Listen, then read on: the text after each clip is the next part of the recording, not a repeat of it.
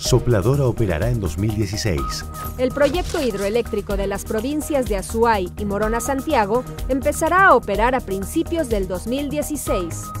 La obra del Gobierno Nacional ya tiene un avance del 96% y su construcción demandó una inversión de 678 millones de dólares y el trabajo de 3.500 obreros. Sopladora cuenta con tres turbinas que en conjunto generarán 487 megavatios beneficiando de forma directa a 15.000 habitantes de los cantones orientales Guachapala, El Pan y Sevilla de Oro.